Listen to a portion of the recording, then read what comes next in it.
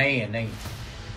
लेकिन social media पर ये पोस्टर है इस पोस्टर पे साफ़ कह रहा है कि वो आपका सोशल है। मीडिया पर किसी ने डाल दिया सारी सोशल मीडिया का खंडन संभव नहीं होता। सबका मेरे द्वारा देखना देखना संभव नहीं होता लेकिन वह मेरा प्रतिनिधि। देखिए एक विधायक को एक विधायक को तीन प्रतिनिधि नियुक्त करने के अधिकार है। जिला पंचायत में हमारे सुमंत द्विवेदी प्रतिनिधि हैं जनपद पंचायत में उमाशंकर यादव हमारे प्रतिनिधि हैं और नगर पालिका में दिनेश गुप्ता हमारे प्रतिनिधि हैं। इसके अलावा मेरा कोई प्रतिनिधि नहीं। चार पाँच साल से वो विधायक प्रतिनिधि आज भी है।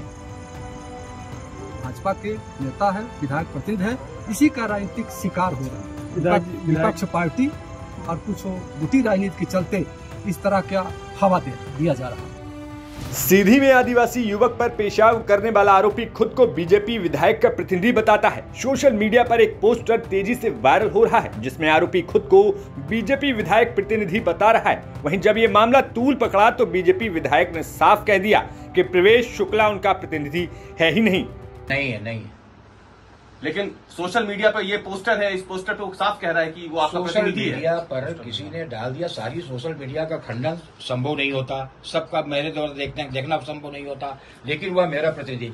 देखिए एक विधायक को एक विधायक को तीन प्रतिनिधि नियुक्त करने के अधिकार है।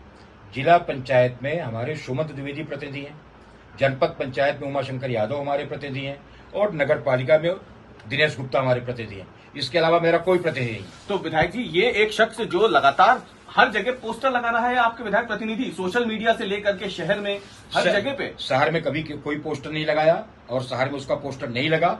अगर सोशल मीडिया में डाला हो तो मेरी नज़र में नहीं आया और मैं इस पर इस पर कार्रवाई करूँगा अगर डाला है तो। क्या जहाँ बीजेपी इस मामले में आरोपी से पीछे छुड़ाने की कोशिश कर रही है कि आरोपी का बीजेपी से कोई लेना देना नहीं है तो वहीं आरोपी के पिता ने बड़ा दावा कर दिया है। उन्होंने कहा कि उनका बेटा बीजेपी विधायक का प्रतिनिधि है, इसीलिए विपक्ष ने उसे फंसाने का काम किया है। से बहुत व्यतीत है और वीडियो भी फर्जी है, स्पष्ट रूप से नहीं समझ में आ रहा है। हम आज देखे हैं वीडियो तो हम खुद स्तब्ध हैं। ये पूर्णतः फंसाने की साजिश है।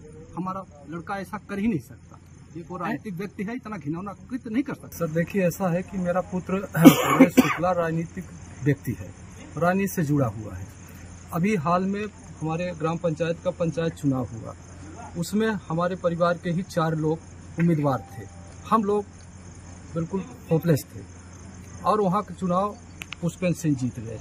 बस उसी का आक्षेप हमारे ऊपर लगा के कि ये उस तरफ़ थे और हम लोग को हरा दिए। फ़िलहाल पुलिस ने आरोपी को गिरफ़्तार कर लिया है, लेकिन आरोपी के पिता जो दावा कर रहे हैं, उससे एक बार फिर से बीजेपी पर सवाल उठ रहे हैं कि क्या बीजेपी खुद को बचाने के लिए इस मामले से अपना पल्ला झाड़कर साफ़ कर रही है, या फिर आरोपी के पिता ने अपने बेटे को बचाने के लिए झूठ बोला है। भोपाल से रवीश पाल सिंह की रिपोर्ट, एमपी तक।